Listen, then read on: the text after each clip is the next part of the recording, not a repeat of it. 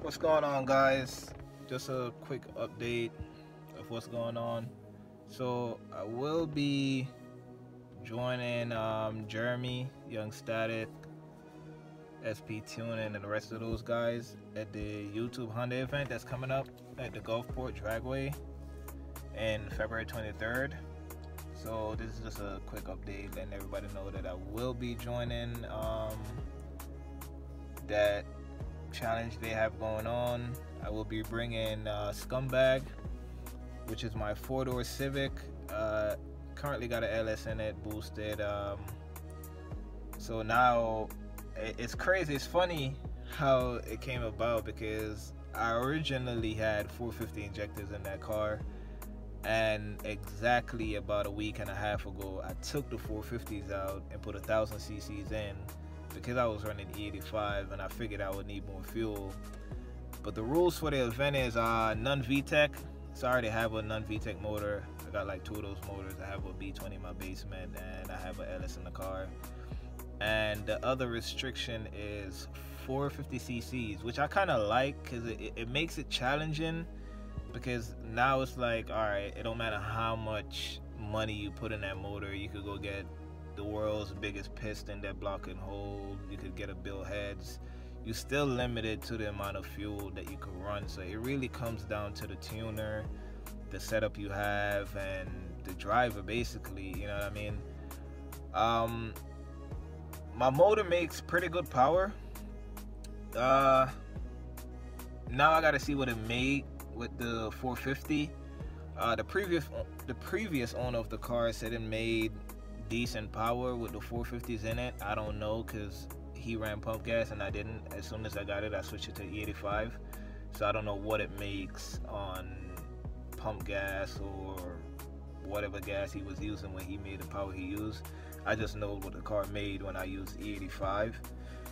So now I got to downsize back to the 450 cc's. Um, I'm gonna be doing other stuff to the car that was originally this car is originally my Honda Day build car. That was originally the Honda Day build car. However, I ran out of time and I, the car still made it to Honda Day, but it wasn't the way I wanted it to go to Honda Day. Like the car has been in sanding stage for the longest. Like it was supposed to be painted and never been painted. Um, so I got a lot of work I got to do to it. Um, the car been to the track a couple of times and it ran I'm not gonna say it ran bad. It's definitely mostly set up as like a roll car more so than a, a dig car because on the roll the car will hook and go no problem.